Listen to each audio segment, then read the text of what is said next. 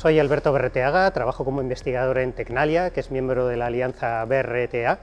y desde el 2018 trabajo en espacios de datos. Vivimos en el mundo de los datos, cada vez se intercambian más datos, cada vez es más importante saber dónde están, quién los gestiona, cómo se manejan, y la tecnología actual es claramente no es suficiente, tenemos que trabajar en la forma de explotar esos datos y en cómo llegar a ellos. Y para ello Tecnalia trabajamos en diferentes proyectos asociados.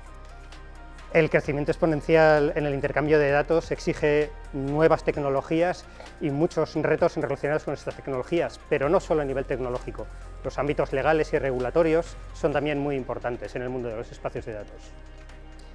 Tecnalia es actualmente referente a nivel europeo en espacios de datos. Somos parte de la International Data Space Association, estamos reconocidos como centro de competencia por la misma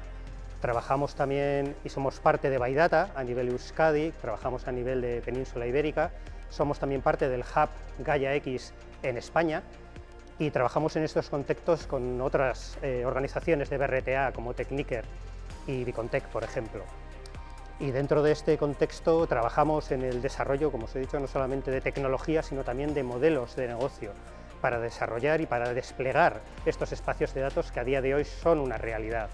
elementos de identidad, de confiabilidad,